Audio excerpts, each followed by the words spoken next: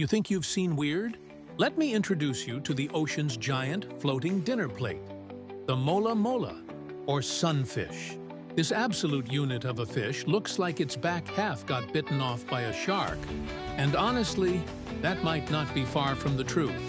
They're so clumsy and slow, they're basically a floating buffet for seals and sea lions.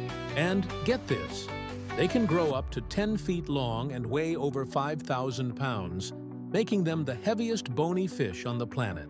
But for all that size, they start life as a tiny, spiky larva, smaller than the tip of your pinky. Talk about a glow-up. But the craziest part? A female can lay up to 300 million eggs at once. That's more than any other vertebrate on Earth. So next time you're at the beach, remember this wonderfully weird, giant, clumsy, egg-laying champion is somewhere out there, just vibing.